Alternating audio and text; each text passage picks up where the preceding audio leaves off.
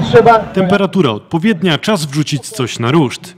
Czwarta edycja wakacyjnego grillowania przyciągnęła do parku na Środuli setki Sosnowiczan.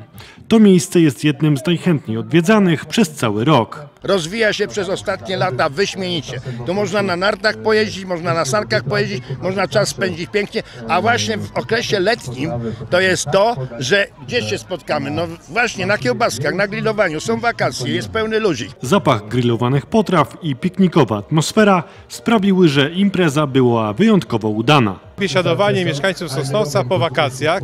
Część jeszcze jest na wakacjach, ale robimy to w sezonie, w którym jeszcze jest bardzo ciepło, w którym są ciepłe wieczory i myślę, że coraz więcej osób przychodzi i startuje w konkursach. Imprezę poprowadził znany i lubiany przez wszystkich Piotr Cyrwus. wierzyłem w Zagłębie, no tu ludzie jednak potrafią spędzać razem ze sobą e, czas i y, potrafią się wspólnie bawić. Bo to ostatnia okazja na wspólne przyrządzanie potraw na ruszcie.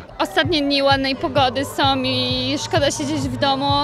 Warto posiedzieć tutaj na zewnątrz i spędzić miło czas z rodziną i zjeść coś dobrego. A ambitni miłośnicy gotowania mogli sprawdzić się w corocznym konkursie na najlepszą potrawę. Przede wszystkim e, najważniejszy jest zawsze smak, następnie tekstura oraz wygląd dania. O czym doskonale wie występujący w wielu telewizjach śniadaniowych Tomasz Jakubiak. Tak powinno wyglądać grillowanie. Luz, blues, wszyscy się bawią i, i jest cudownie. Tak jak jest co roku podczas tej wyjątkowej imprezy.